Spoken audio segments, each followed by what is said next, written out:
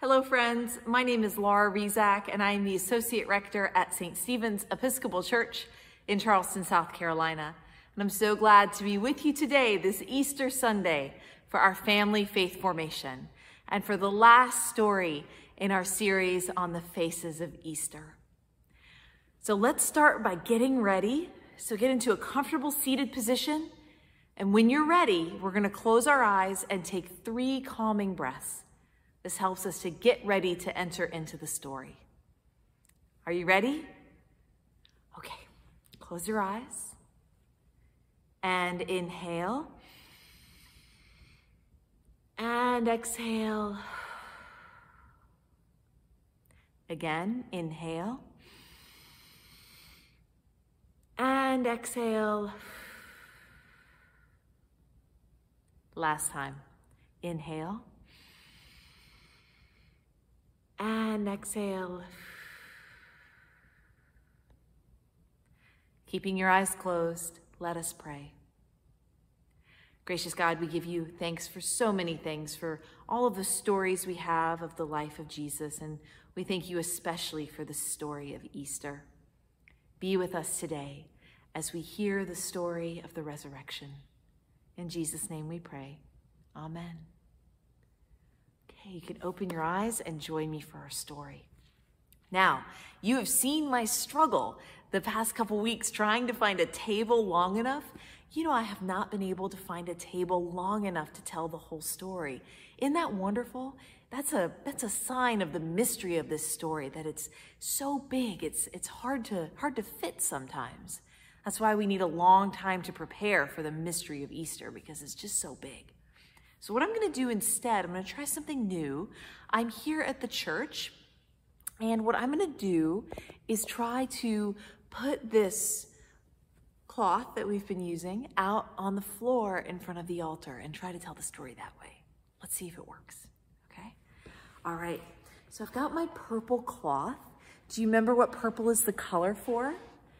Yeah, purple's the color for Lent. We've been in the Lenten season for quite a long time now. It's also the color of royalty.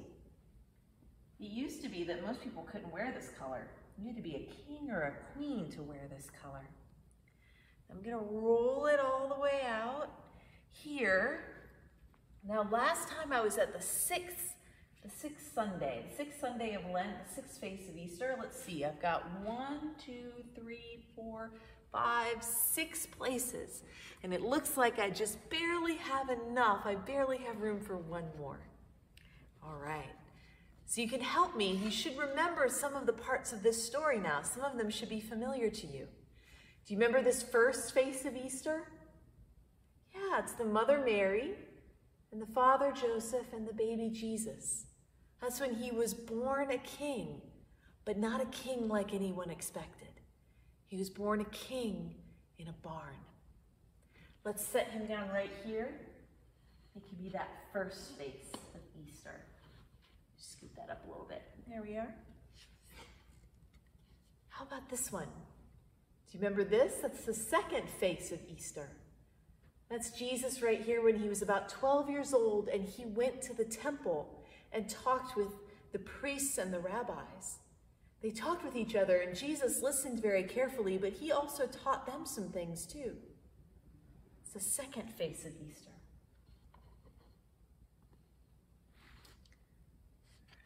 Third, do you remember this one? Right, here's Jesus do you remember who this is? Yeah, that's his cousin. That's John the Baptist. This is when John baptized Jesus in the River Jordan. And here's the dove that came down and alighted just above him where he was being baptized. And they heard a sound. Some people thought maybe it was thunder, but some people thought it was a voice saying, This is my son, the beloved, with whom I'm well pleased. This is the third face of Easter.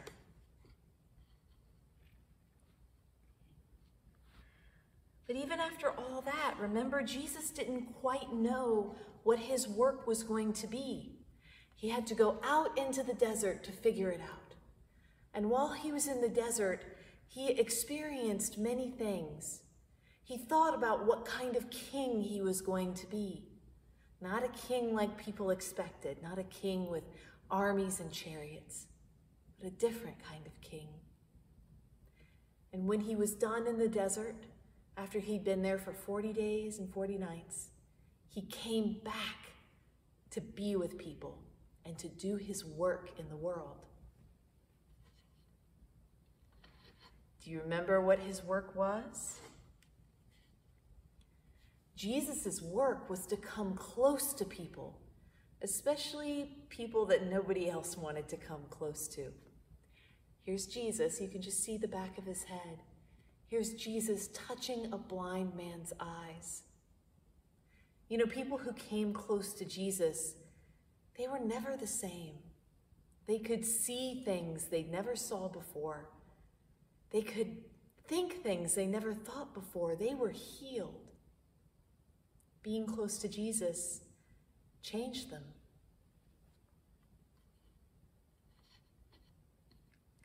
And now we come to our story from last week. Remember the story from last week? This is when Jesus went to Jerusalem for the last time. While he was there, he decided to have supper with his disciples.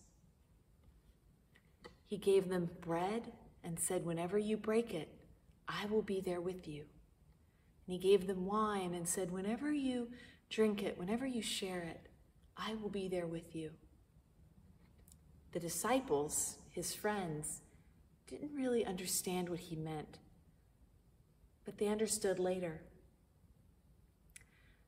Now, while Jesus was there, he realized that he was going to be arrested. He realized that there were people who were coming for him, Roman soldiers who were coming to arrest him and take him away. So Jesus went off to pray in a garden. Some of his disciples, some of his friends went with them. When Jesus was finished praying, it was very dark. And he came out of the garden, and there was one of his disciples, one of his friends, named Judas.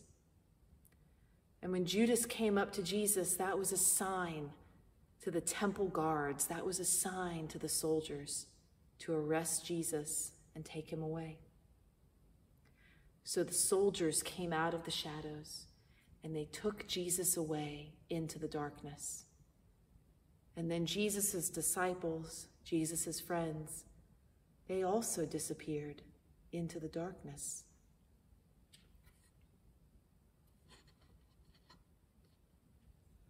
But this is not the end of the story. We still have one more face of Easter. That night, the night that Jesus was arrested, it was a very confusing one.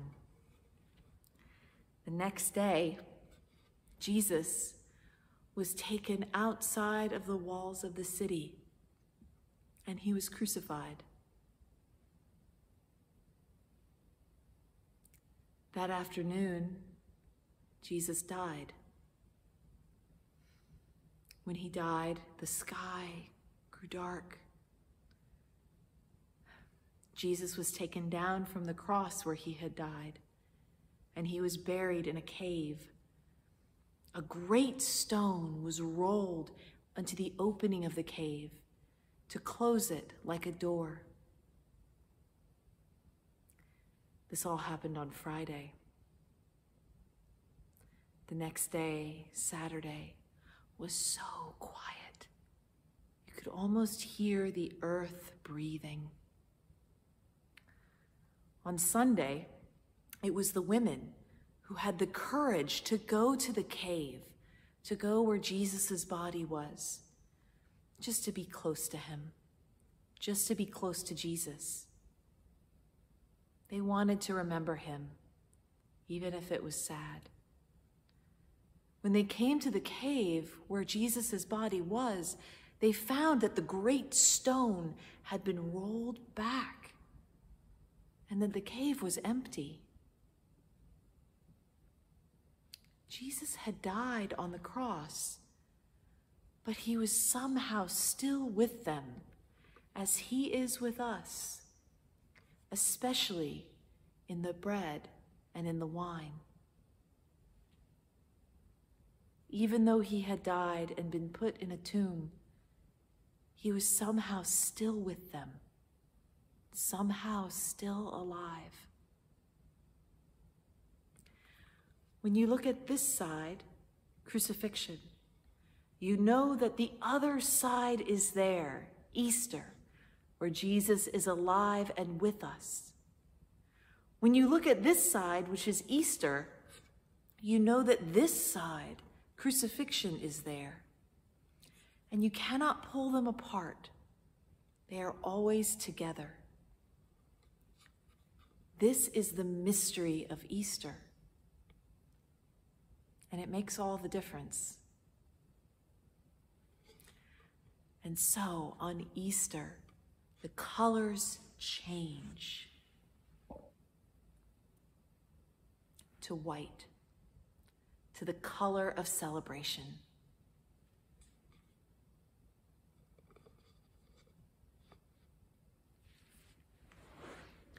Now we have all of the faces of Easter. I wonder which face of Easter is your favorite? I wonder which face of Easter, from the baby Jesus with Mary and Joseph to Jesus in the temple with the priests, Jesus being baptized, or Jesus in the desert, or Jesus healing a blind man, or Jesus sharing a meal with his friends, or this one today, the mystery of Easter. I wonder which is your favorite.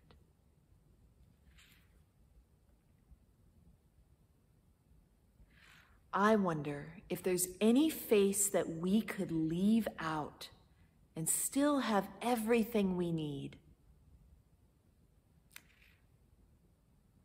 I wonder if there's any one of these faces that we could leave out and still have everything we need.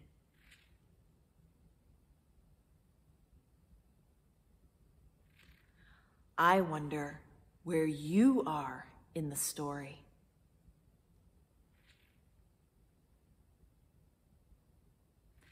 I wonder where you are in the story.